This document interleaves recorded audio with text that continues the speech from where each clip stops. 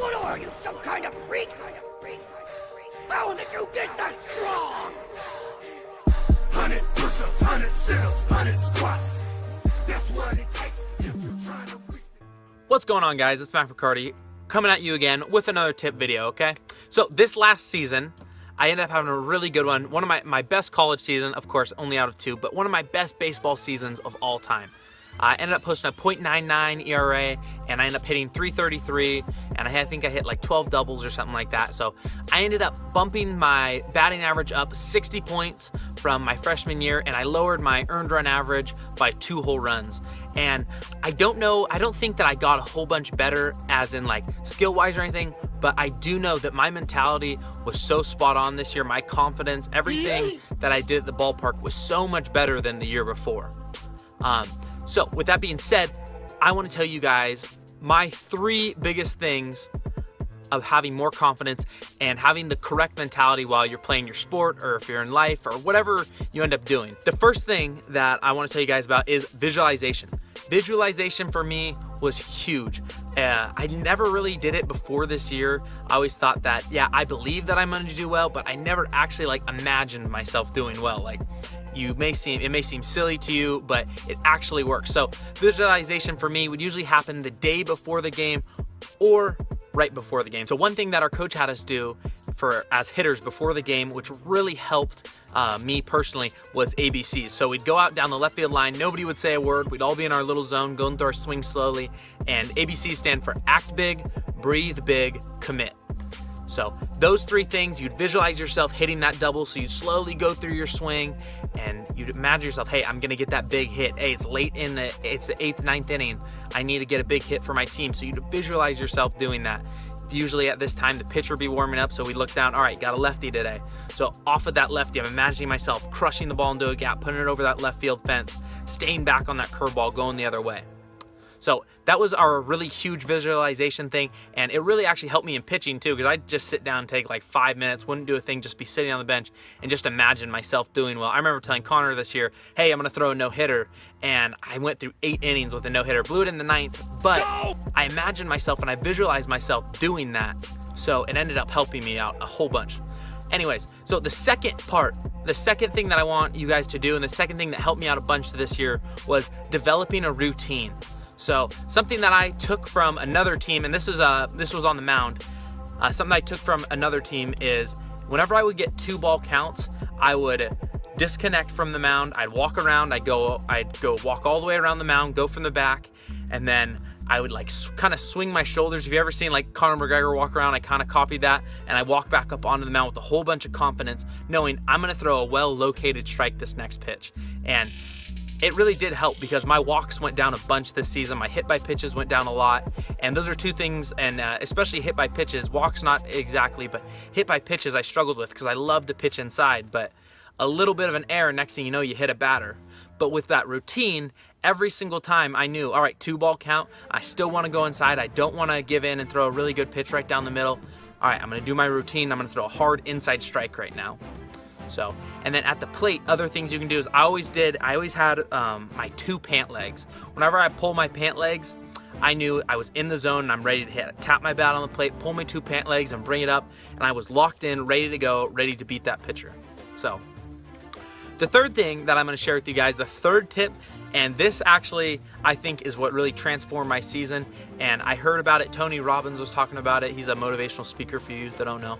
And uh, the thing that really helped me was having an artifact and building an alter ego.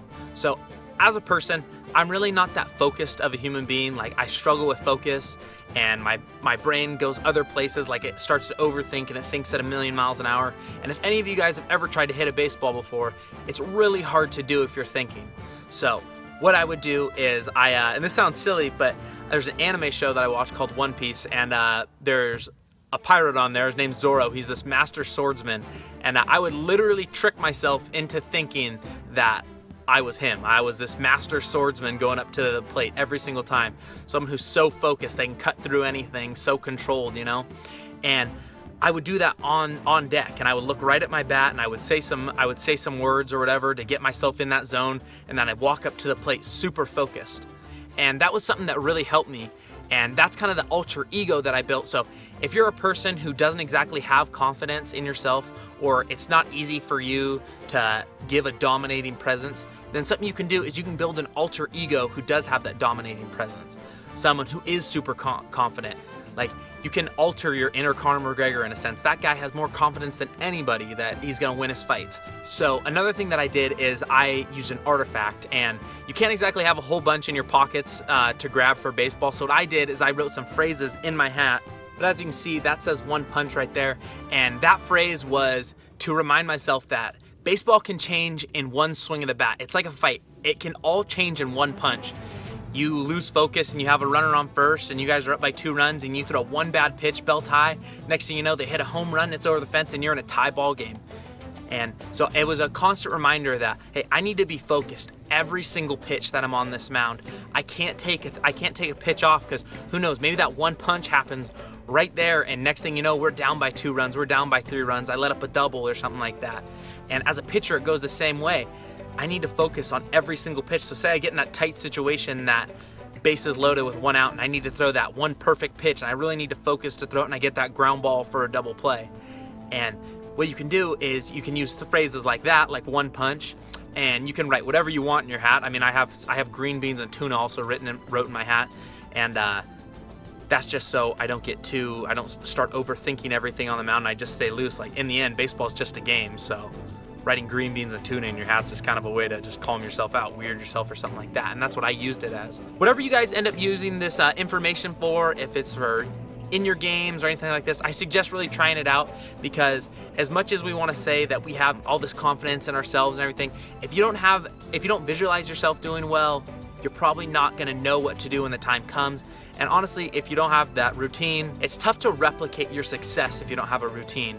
It's tough to come in every single day in your sport or in classes if you don't have that routine of what you're doing. If you're going to bed at 12 at going to bed at midnight one night and the next night you're going to bed at 2 but you're trying to go to bed at 10 you're missing out on all this part of your routine and next thing you know you don't even have this routine anymore and you're just kind of getting blown by the wayside for whatever happens so Hopefully this information helps for you guys. Uh, I know it really helped me this season. I know it helped me really transform myself into a much better baseball player. So uh, thank you guys so much for watching. Uh, so exciting this last video that, uh, or two videos ago that I posted, my baseball journey. We are just flying up on views. We just hit over 30,000. We just broke 3,000 subscribers too, so I'm so thankful for that, guys. Um, your guys' support means so much. I wouldn't have ever imagined that I was gonna be doing this and having so much fun, just having people Instagram message me and all this stuff. And uh, hey, quick shout out, quick shout out to my boy Joe Gal 27. Um, he Instagram messages me all the time, and he's a really motivated young ball player. So shout out to him. And uh, Thank you guys so much for watching. Uh, comment if you guys have any questions or suggestions. I'll try and get back to you in the comment section. Don't forget to like the video, subscribe to your boy, follow me on Instagram right here for all my updates. And uh, until I see you guys next time, peace.